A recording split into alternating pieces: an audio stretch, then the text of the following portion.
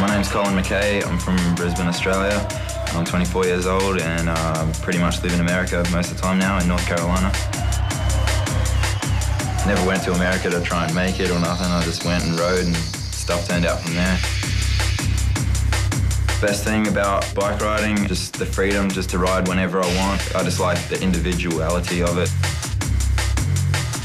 The thing probably I fear the most would be stuff that, like tricks that I haven't got dialed, like stuff that maybe I haven't done for a few months and it almost feels like you're going for it for the first time again. Like the more you do your tricks, like the more confident you feel and I think that's a better way to ride, but it's just a bunch of mind games really.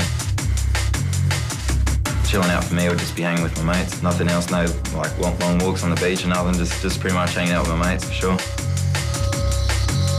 Things that get me amped would be just seeing my friends riding and, and stepping it up and, and me just um, hanging with them and, and stepping up as well, just making it a good session. Like the feeling's almost the same as when I started. I used to, you know, bunny hop a gutter or something and, you know, you get the same feeling as what I'd do now, the tail whip in the box jump or something, you know, like bike riding's just too much fun.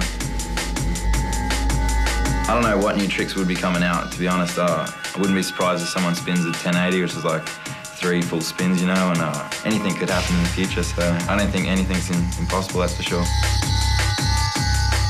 I'm pretty much just living life at, to the fullest right now, and I don't know, not really setting up anything for the future. Like, I, you know, I ride my bike, you know, it's it's not something I'm trying to make a career out of. I don't know, just I'm pretty relaxed about it all, to be honest. Um, just just riding my bike and taking every day as it comes, and you know, see what happens. Uh, I'm not trying to like set out to like so I can retire in five years or nothing. Like just just pretty much riding, man.